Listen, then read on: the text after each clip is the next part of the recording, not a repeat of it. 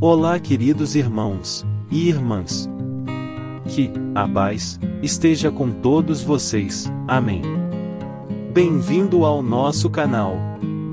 Grupo Orações dos Salmos. Neste vídeo, convidamos vocês a se juntar a nós na busca pela paz através das orações dos Salmos, narrados em vídeos. Os Salmos são uma coleção poderosa de textos que assim, o fizemos reproduzidos em vídeos sagrados, que trouxeram consolo e conforto a inúmeras pessoas ao longo desse trabalho. Num mundo cada vez mais caótico, onde o estresse, aflições e a ansiedade parecem dominar, e até deixarmos-nos desconfortavelmente. Pessoal, não se deixem cair. Venham encontrar a paz através das orações dos Salmos. Narrações em vídeos. Dos capítulos 1 ao 150. E, digam assim, em voz alta, aflições. Nunca mais. E que Deus o abençoe a todos, para todos sempre. Amém. Eu sou, o professor Fábio, junto com o irmão Gilmar, e o professor Beto, criamos o grupo Orações dos Salmos, e estamos fazendo as leituras das orações dos Salmos, dos capítulos 1 ao 150, narrados em vídeos, para facilitar seus estudos, e para que vocês também saibam os significados de cada orações, e também saibam as interpretações, e assim, seus estudos ficam muito mais completos e com fácil entendimentos.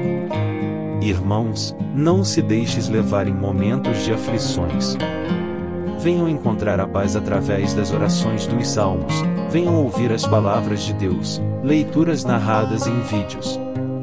E juntos, iremos abrir todos os seus caminhos, e quebrar todas as barreiras que impedir vocês de crescer profissionalmente, pessoalmente e espiritualmente. Com Deus, seremos todos mais fortes, em nome de Jesus, amém.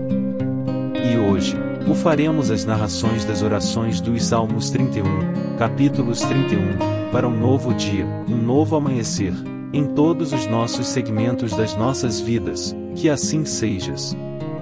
E o que significa o Salmo 31? Vejamos. O Salmo 31 é um pedido sincero por livramento, motivado por uma genuína confiança na capacidade de Deus para solucionar os problemas.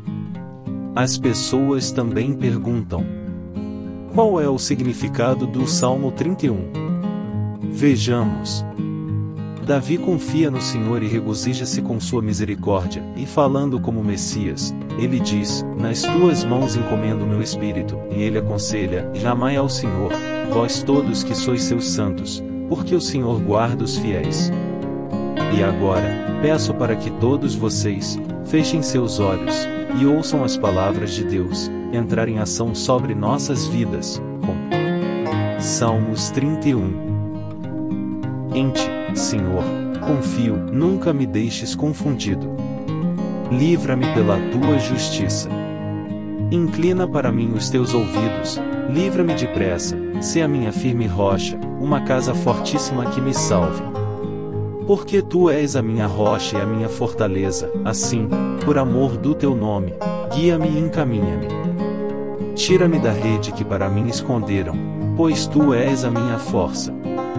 Nas tuas mãos encomendo o meu espírito, tu me redimiste, Senhor Deus da verdade.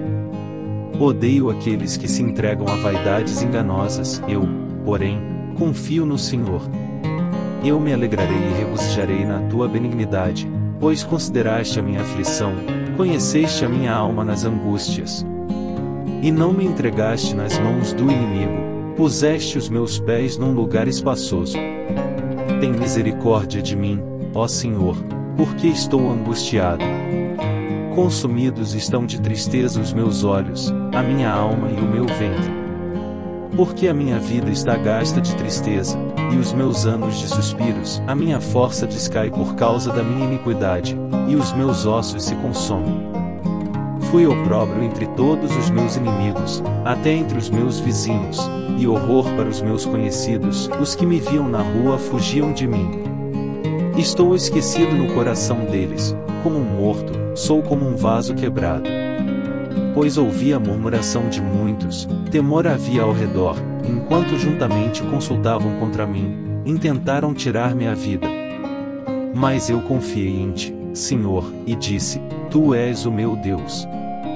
Os meus tempos estão nas tuas mãos, livra-me das mãos dos meus inimigos e dos que me perseguem. Faze resplandecer o teu rosto sobre o teu servo, salva-me por tuas misericórdias. Não me deixes confundido, Senhor, porque te tenho invocado. Deixa confundidos os ímpios, e emudeçam na sepultura. Emudeçam os lábios mentirosos que falam coisas mais com soberba e desprezo contra o justo. Ó! Quão grande é a tua bondade, que guardaste para os que te temem, a qual operaste para aqueles que em ti confiam na presença dos filhos dos homens. Tu os esconderás, no secreto da tua presença, dos desaforos dos homens, encobri-los-as em um pavilhão, da contenda das línguas. Bendito seja o Senhor, pois fez maravilhosa a sua misericórdia para comigo em cidade segura. Pois eu dizia na minha pressa, estou cortado de diante dos teus olhos, não obstante, tu ouviste a voz das minhas súplicas, quando eu a te clamei. Amai ao Senhor, vós todos que sois seus santos, porque o Senhor guarda os fiéis e retribui com abundância ao que usa de soberba. Esforçai-vos, e ele fortalecerá o vosso coração, vós todos que esperais no Senhor. E assim, fechamos as narrações em vídeos, das orações dos Salmos 31 Estudos e Comentários Bíblicos. Pessoal, peço a todos vocês, que se inscrevam no canal no YouTube, e ativem o sininho das notificações, assim, vocês serão avisados, todas as vezes que fizermos uma postagens. Amém. Contamos com suas inscrições, em prol desse trabalho maravilhoso. Ficamos por aqui, fiquem com Deus, e até os próximos vídeos.